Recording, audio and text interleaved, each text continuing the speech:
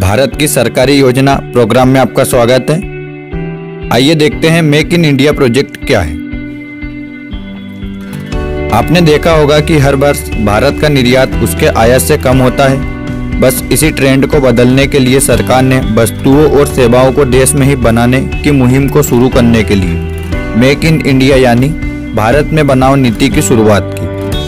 25 सितंबर 2014 को की थी।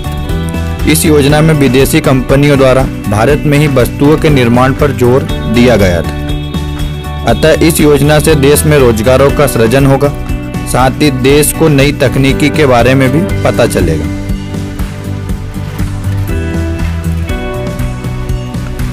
इस प्रोजेक्ट के माध्यम से सरकार भारत में अधिक पूंजी और तकनीकी निवेश पाना चाहती है।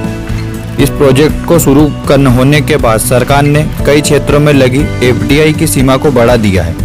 लेकिन सामरिक महत्व के क्षेत्रों जैसे अंतरिक्ष में चौहत्तर फ़ीसदी, रक्षा में उनपचास फ़ीसदी और न्यूज़ मीडिया में 26 प्रतिशत को अभी भी पूरी तरह से विदेशी निवेश के लिए नहीं खोला है।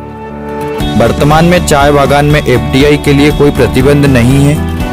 प्रोजेक्ट में इस बात का भी ध्यान रखा जाएगा कि जो आविष्कार और निर्माता भारत में अपने उत्पादों का निर्माण करने के लिए तैयार है, उनके बौद्धिक संपदा अधिकारों का पूरा ख्याल रखा जाएगा आइए देखते हैं इस प्रोजेक्ट में निम्नलिखित 25 क्षेत्रों पर विशेष ध्यान दिया जाने वाला है। जिनमें क्रमशः है पहले नंबर पर ऑटोमोबाइल, विमानन जैव प्रौद्योगिकी, रसायन, रक्षा निर्माण विद्युत मशीनरी, खाद्य प्रसंस्करण, चमड़ा, मीडिया और मनोरंजन, खनिज, तेल एवं प्राकृतिक गैस, बारहवें नंबर पर फार्मास्यूटिकल्स एवं तेरहवें नंबर पर बंदरगाह और बंदरगाह और शिपिंग।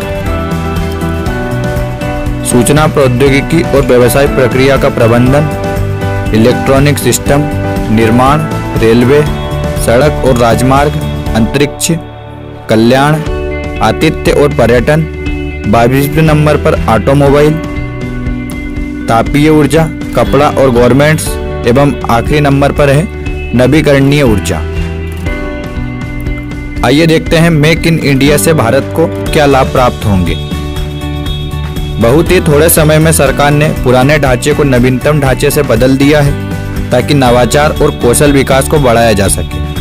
भारत ने अपने व्यापार करने में आसानी ईज ऑफ़ डूइंग बिज़नेस की रैंकिंग को वर्तमान तिरसठवें स्थान पर है।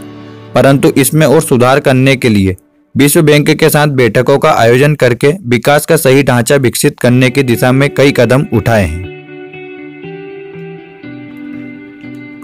जिनमें क्रमशः पहले नंबर पर भारत को एक विनिर्माण हब के रूप में विकसित करना, दूसरे नंबर पर भारत के आर्थिक विकास को बढ़ावा देना तीसरे नंबर पर रोज़गार के अधिक अवसर मिलेंगे, एवं चौथे नंबर पर अधिक प्रत्यक्ष विदेशी निवेश आकर्षित करने का मौका मिलेगा।